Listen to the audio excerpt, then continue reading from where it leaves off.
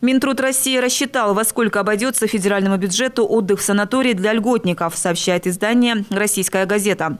Как отмечается в проекте приказа ведомства, который опубликован для общественного обсуждения, в 2018 году стоимость одного дня пребывания в санаторно-курортных учреждениях граждан, имеющих право на получение государственной социальной помощи, составит более тысячи рублей.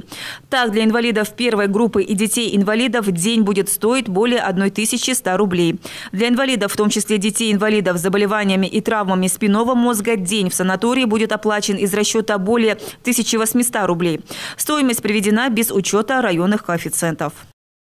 И о курсах валют. Доллар стоит 59 рублей 28 копеек, евро 69 рублей 64 копейки.